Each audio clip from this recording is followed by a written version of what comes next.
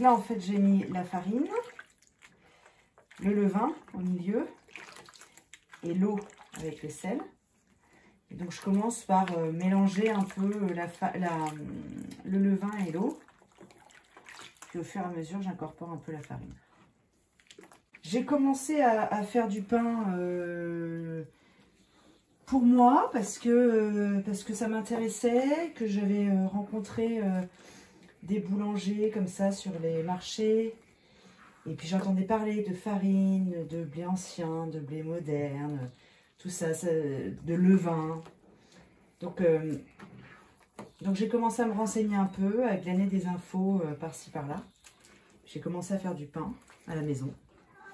Et puis du pain pour les copains. Et puis pour les copains des copains.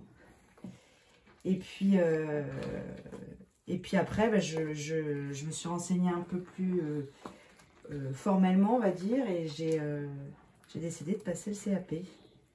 Donc, donc là, c'est la pétrisse. Et donc, la plupart du temps, maintenant, ça se fait au pétrin mécanique. C'est plus trop courant de faire ça à la main. C'est une étape qui me plaît. J'ai besoin, moi, de sentir cette étape-là, de sentir la pâte. Et puis, euh, et puis surtout, c'est une autonomie, quoi. C'est-à-dire que je ne dépends pas du tout de l'électricité. Donc c'est des graines, ça je les prépare euh, la veille. Je les humidifie. je mets de, de l'eau. Donc là, il y a des graines de lin qui viennent de la ferme des Quatre Vents, dans le Loir-et-Cher. Des graines de courge qui viennent du Cher. Et euh, des graines de tournesol viennent de Vienne, de la Vienne. Pour les campagnes nature, la phase de fermentation est terminée. Donc, euh, il y a une première phase de fermentation qu'on appelle le pointage, après l'après. Non, le pointage. Là, je divise, je vais façonner et après, ce sera la deuxième phase de fermentation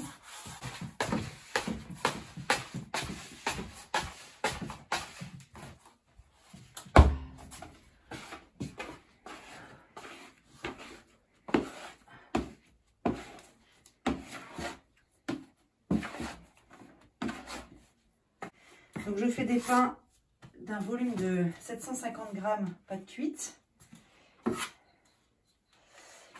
Euh, je fais juste un, seul format. Et du coup, euh, en cru, ça fait 880 grammes. Donc là, je fais le façonnage.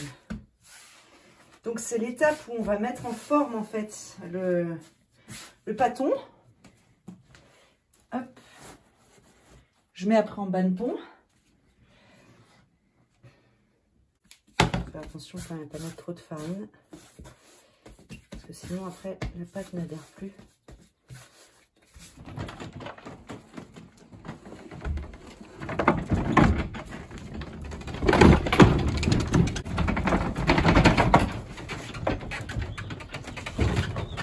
Voilà, ça rentre parfaitement.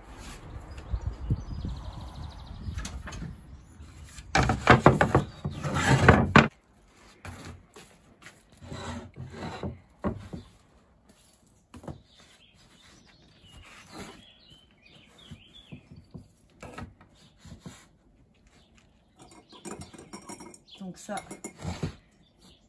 c'est une lame de boulanger qui sert à faire des grignes.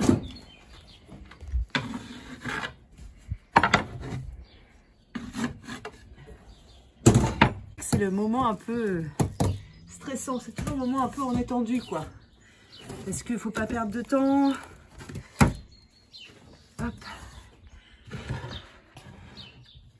Il faut que l'enfournement quand même se fasse assez rapidement par rapport à la chaleur.